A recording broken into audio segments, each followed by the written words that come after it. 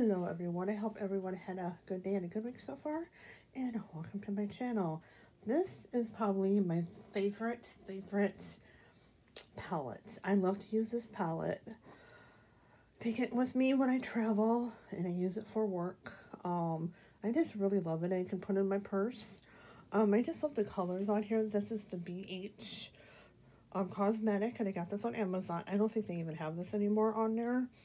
Um, but look at the color. I mean, I just love the colors. And I definitely want to experiment more with these colors. I want to use the purples and the pinks. And I do use those two right there. And you can tell that I have pretty much... And I like the orange. I'm really into oranges and yellows right now.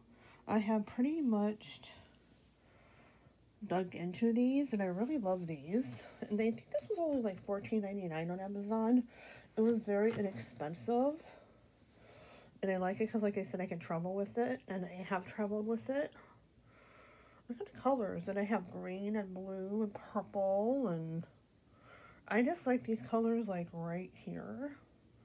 Because I love yellows. Like I said, I love yellows and I love um, oranges.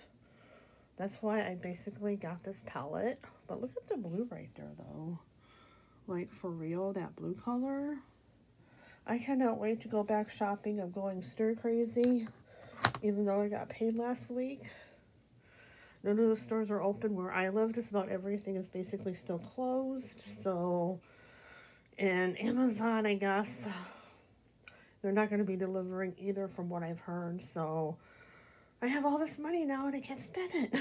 and I miss going to the Dollar Tree. I miss Big Lots and I missed my TJ Maxx. Our TJ Maxx has been closed for a while now. I think it's been closed for about a month now. So, yeah, all the good stores where I live are closed. I know Target is still open, but only limited hours. I think they're open to like 7 or 8 or something like that. But I haven't really been out except for the groceries. I went fishing with the boyfriend and we went to the farmer's market. Um, they have the farmer's market where I live too, but anyways, this is my one of my favorite eyeshadow palettes.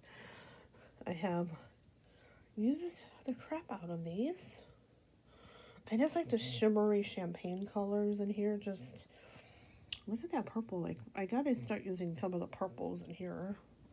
Doing a pink and purple look.